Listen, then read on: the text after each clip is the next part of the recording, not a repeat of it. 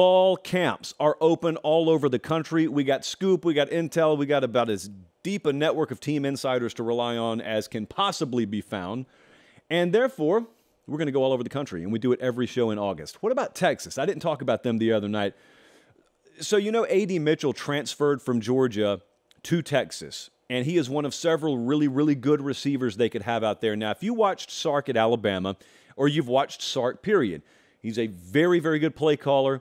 And when his offense has the requisite skill at wide receiver, it can be lethal. You may say, well, Josh, anyone's lethal when they have skill at wide receiver. Not like Steve Sarkisian. Uh, go back and watch the 2020 season at Alabama for reference. Well, I'm telling you that to tell you. I was looking at Chip Brown stuff the other day and talked to him today on the phone, actually, from Horns 24 7. And I said, Chip, how legit does that wide receiver room look? He said, very, very legit. And also, talking to some folks around the Big 12 and the coaching community, They'll tell you this is the first year out of three that Sark's been there now that he's got legitimate depth in his receiver room to be able to call plays like he wants to. And he likes to roll with a four man rotation and really lean on those four. Did it at Bama, he'll do it at Texas. Xavier Worthy, yep. A.D. Mitchell transferred from Georgia to Texas. Yep. Jordan Whittington's out there. And also Isaiah Neyor the injury kept him out of last year. He'll be there. And look, you've got names behind them. Casey Cain not only is a great stock car driver, he's also a sophomore receiver for uh, Texas. And Johntay Cook, true freshman, five star. He's in the house too. But those top four, if you're watching on YouTube, those top four names, those will be feature names.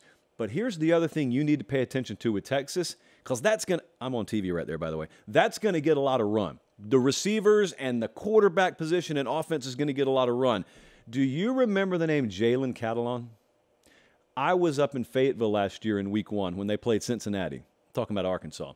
And Jalen Catalon was one of the players that went down for the year at safety. And Arkansas' season sort of took a spill along with it, although they won that day. Catalon transferred to Texas, and I don't think a lot of people remember this. That's the guy they're looking at in practice. That's the guy they're looking at along with Jerrin Thompson at safety if Catalon's healthy, and they think he is, he is such a difference maker for Texas. I mean, they've had to rotate other positional guys to safety over the last few years. If they don't have to do that, and if they've got two very experienced and very dependable and very physical players, especially in Catalon's case, on the back end, that makes a huge difference for Texas, and hardly anyone's going to be talking about it because it's all about offense out there right now. Jalen Catalon, one of the most important names in the Big 12, and because it's Texas, and where they're going to be ranked preseason, maybe one of the most important names that you won't hear a lot about in the Big 12 and college football playoff races. What about Tennessee? Let's go over to Knoxville for just a second. The transfer portal was a big topic of conversation, obviously, all throughout spring, but some of the names I think slipped through the cracks. For instance, I don't think that you see many people plastering John Campbell Jr.'s name across the front of a preview magazine. It's no disrespect to him. It just wasn't a premier name, but he's going to possibly start at a premier position for Tennessee. Started 12 games at offensive tackle for Miami last year. 6'5, 320, transferred to Tennessee. And both of their offensive tackle spots are kind of open. Now, they've got three or four guys they're looking at, so it's not that they're without options, but they need SEC caliber options. And they've been both fingers crossed hopeful John Campbell Jr. is going to be that. Granted, we're through like one, two, or maybe three fall camp sessions, depending on where we're talking about. They got him running with the ones over there in Knoxville, and so far, so good. Again, just understand I'm saying that with my fingers crossed. You got to look past Joe Milton. I don't even I don't even talk a lot about the high profile quarterbacks in this segment this time of year because you can get that anywhere. Need to look past that. Uh, Joe Milton will need to heavily depend on guys like this to pan out, and therefore Josh Heupel in Tennessee's hopes and dreams will largely be attached to guys like him. Speaking of which, that transfer portal, it didn't do any favors to the perception of Oklahoma State, right? Had a lot of guys go out, and we covered the other side of that. If you're an Oklahoma State fan, I have talked on this show about how maybe the situation – not quite as dire as it initially seemed on the outside when it comes to the portal exodus out of Stillwater. Well, the fact does remain your starting quarterback left in Spencer Sanders, and he would be their starter if he was still there this year.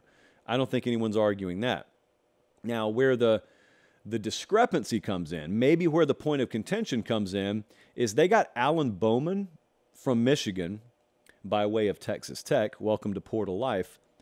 And they would argue, in a glass half full or a chalice half full sort of manner, they would argue he's going to be good enough. He just needs to get his shot. Who is Alan Bowman? See, a lot of us who cover the sport year round take for granted everyone just knows who that is. Well, he committed to Texas Tech in 2018. He's 6'4, 205. He started 16 games over three seasons. Didn't light the world on fire. He goes up to Michigan for a couple of years, doesn't do anything up there, and now he's transferred to Oklahoma State. There is always the camp that believes you've got a diamond in the rough and he was just in the wrong depth situation, probably should have transferred somewhere other than Michigan. And if he had done that, he already would have blown up. But lucky us, he's here in Stillwater now and he's going to be more than serviceable. You may be right. I don't think Mike Gundy's an idiot. I think he knew what he was doing when he took him. But here is why I'm paying special attention to him. I don't know at tailback that they're anywhere close to what they have been in some years past.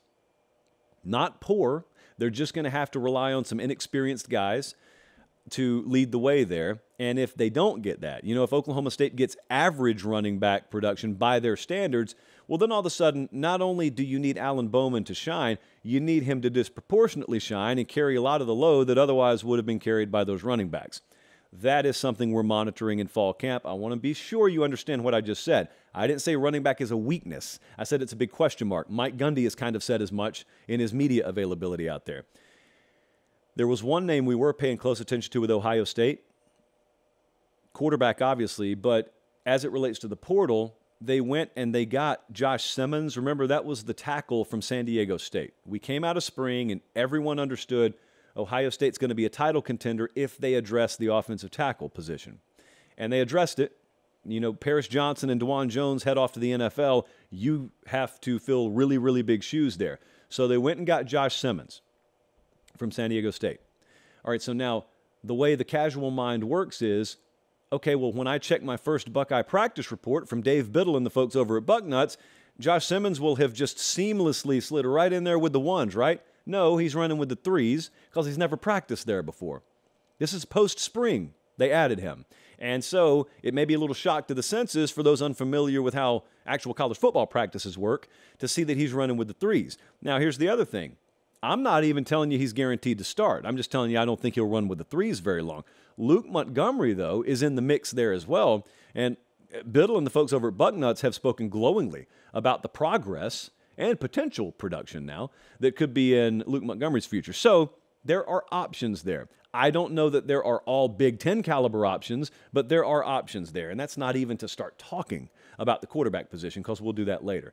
And since so many of you sadistic minded folks amongst us wanted me to touch on this, yeah, Iowa State's got a little quarterback situation. Yeah, the QB decided to throw a few shekels on games he's not legally allowed to bet on. Yes, I've read the headlines. No, I will not give you the satisfaction of going in depth on it.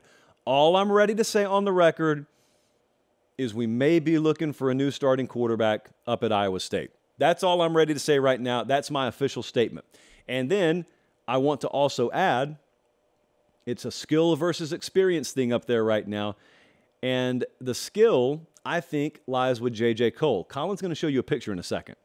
And I'm going to I'm going to explain to you what you're looking at in J.J. Cole. But Rocco Becht, it's one of those B E C H T. So you go Becht, you go Becht, you go Becht, whatever. Uh, that's the guy who was the backup last year. Now he's got the experience, he knows the system. J.J. Cole's a freshman. I and Steve Wiltfong have some experience with J.J. Cole. Now, J.J. Cole's listed at 6'7", 230. Sometimes you think that people overhype themselves and their, their height in the media guides. Well, that is J.J. Cole as a rising high school senior. If you're listening on podcast, just, just imagine me, Steve Wiltfong, and then basically a skinny ogre with good hair, because that's J.J. Cole. He, he sauntered over there He's got a giraffe like build, but handles himself wonderfully. In fact, one of the things that stood out to me when we watched him in Elite 11 is he's massive, but yet he doesn't look weird. He doesn't look herky jerky like he carries that six seven and whatever he weighs, 230. He carries it very well. He doesn't look awkward. Some really, really tall kids look awkward in high school.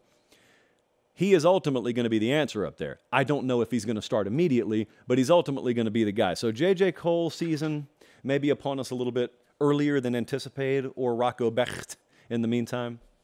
And that's how I'll choose to pronounce his name indefinitely. But yeah, fall camp. We're getting ever closer, friends, to the first series of those scrimmages. And as you know, anyone who's watched the show for any length of time knows yes, there's nothing like a Sunday late kick after a week of college football games.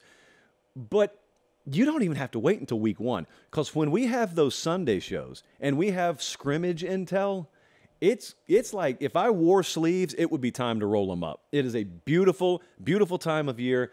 And if you're tired of focusing on conference realignment, take my word for it. There's real life practice going on and real life depth chart moves being made. And we will, uh, in a paper popping fashion, be here for it.